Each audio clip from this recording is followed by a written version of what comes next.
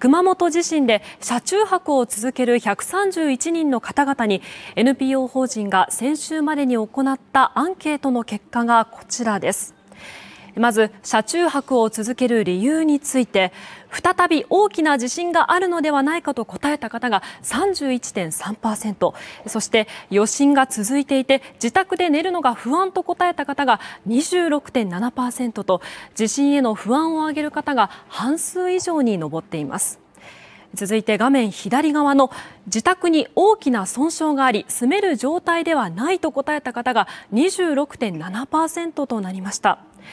一方でアンケートでは自宅があまり損傷を受けていないと答えた方でも8割以上が余震への不安から車中泊することを選んだとの調査結果が出ています。